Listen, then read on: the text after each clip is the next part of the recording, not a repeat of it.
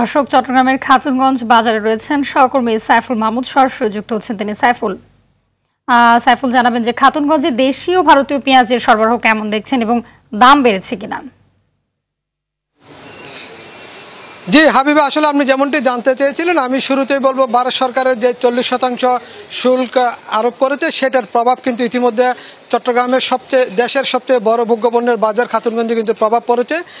আসলে একটা বিষয় জানিয়ে রাখি, সেটি হচ্ছে যে যদিও বলা হয়েছিল চল্লিশ শতাংশ শুল্ক আরোপ করেছে, কিন্তু যেই শুল্ক আরোপের মালামালগুলো, পেঁয়াজগুলো কিন্তু এখনও খাতুনগঞ্জে বাজারে আসেনি। এর আগে যে মালামালগুলো ছিল, পেঁয়াজগুলো স্টকে ছিল, সেগুলো কিন্তু ইতিমধ্যে দাম বাড়িয়ে দিয়েছেন। এখানকার যারা ব্যবসায়ীদের প্রতিনিধি আছে, তারা কিন্তু এখানকার যারা ব্যবসায়ী আছে, তারা কিন্তু কমিশন এজেন্ট, তারা বলল আসলে ওইখানকার যারা আড়তদার আছে, তাদের আহ, কথা অনুযায়ী তাদেরকে বিক্রি করতে হচ্ছে এবং ওইখানকার আড়তদাররা কিন্তু নির্ধারণ করে দিয়েছেন পেঁয়াজ কত বিক্রি করবেন না করবেন।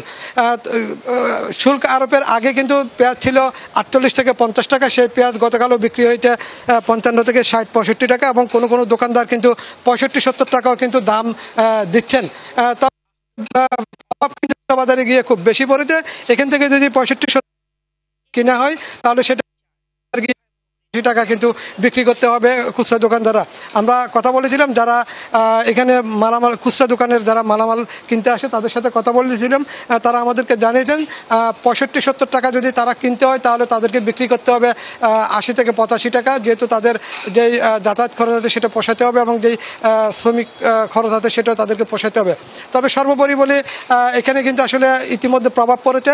তবে এখানকার যারা ব্যবসায়ী আছে তাদের সাথে আমরা কথা বলেছিলাম, তারা জানালো আসলে বিকল্পভাবে যদি মায়ার বিকল্পভাবে যদি মায়ানমার থেকে পেঁয়াজ আমদানি করা হয়, তাহলে কিন্তু পেঁয়াজের যে উচ্চগতির দাম সেটা কিন্তু হয়তো কমতে পারে বলে মনে করেন মনে করেন। এখানকার যারা ব্যবসায়ী আছে তারা। তবে তারা জানিয়েছেন এখনও পর্যন্ত শুল্কের যে মালামাল সেটা কিন্তু এখানে খাতুনগঞ্জে বাজারে এখনও প্রবেশ করেনি।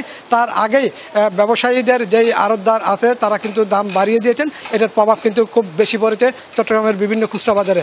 হাবিবা এই ছিল পেঁয়াজ নিয়ে। আমার কাছে সর্বশেষ। ধন্যবাদ আপনাকে। এতক্ষণ চট্টগ্রামের খাতুনগঞ্জ থেকে জানাচ্ছিলেন সহকর্মী সাইফুল মাহমুদ।